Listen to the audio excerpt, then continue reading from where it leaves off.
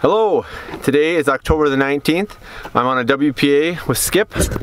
Hey, Skip. Well, Skip's in there somewhere. I actually had zero intention of going hunting today at all, but I opened up the weather and saw that it was supposed to, we're supposed to get two to five inches of snow tomorrow.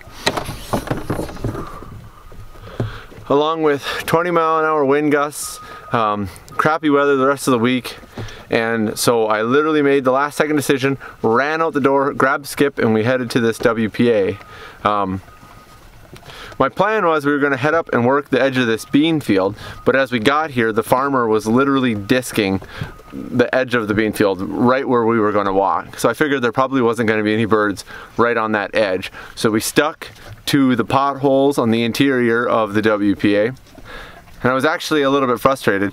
Skip looked just like a black lab, just nose to the ground, tail going, ran right through a hen pheasant, got her up, no point whatsoever.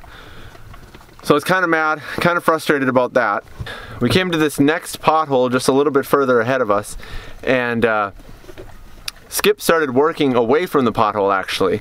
And so I figured there must have been birds in there and maybe they had moved off or maybe birds had been off in the distance and had worked their way into the pothole. So I let him get a little ways and then I called him back and pointed him down into the pothole. Well, we, we just stepped down there, he got downwind, spun around and just went on a locked point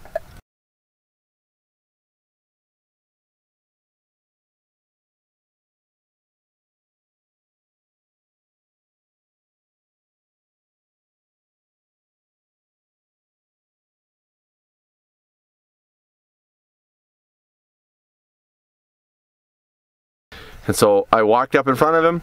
First rooster flushed, shot and dropped him. When I shot the next rooster flushed, shot and dropped that one. Uh, I retrieved one, Skip retrieved the other one.